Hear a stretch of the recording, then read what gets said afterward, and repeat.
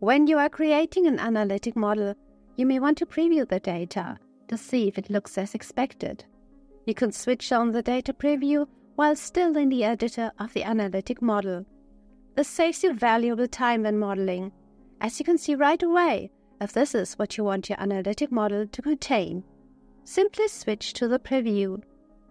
It consists of the analytical result grid and a list of available measures and dimensions. The result grid changes dynamically when you configure the available measures and dimensions. You can select dimensions and measures and assign them directly to the table's rows or columns by clicking column or row or by drag and drop. As this is an analytical preview, you can navigate through the various dimensions and view the aggregated data.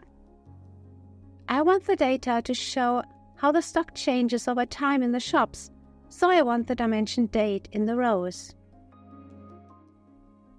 I filter the data to show just one of the shops.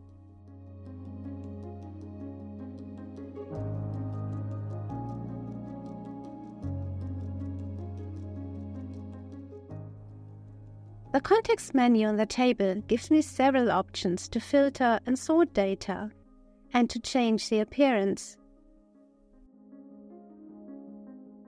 I choose row striping and highlight totals to make it easier to read the table.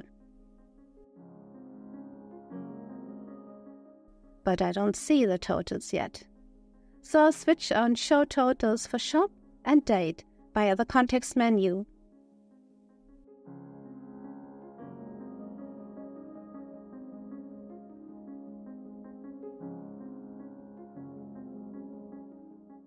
I can change the order of the measures in the columns by drag and drop.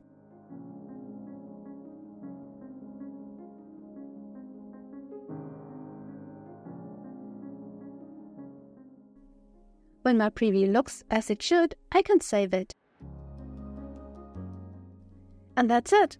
For more information, check out help.sap.com. Thanks for watching.